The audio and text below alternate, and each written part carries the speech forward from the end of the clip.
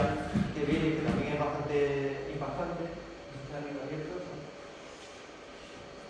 Es que como veis, pues a diferencia de un dron, que por aquí sería muy complicado volar un dron profesional, etcétera, pues una de las cosas que puede hacer el robot es pues hacer un recorrido guiado. Y tú eso, pues simplemente lo programas y esto diariamente podría salir, diariamente podría salir y encargarse de hacer una ruta.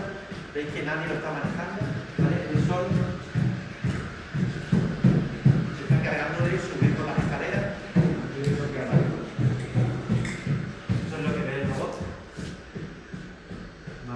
¿Vale? Guiado un poco que puede hacer. Que ha subido a la sala que hay arriba.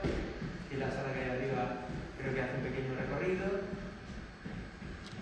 Detecta el extintor que hay arriba, como veis. ¿Vale? Y ahora es capaz de solo, pues después de hacer esa ronda, para revisar alguna cosa, una de las cosas que hace es que baja de espalda.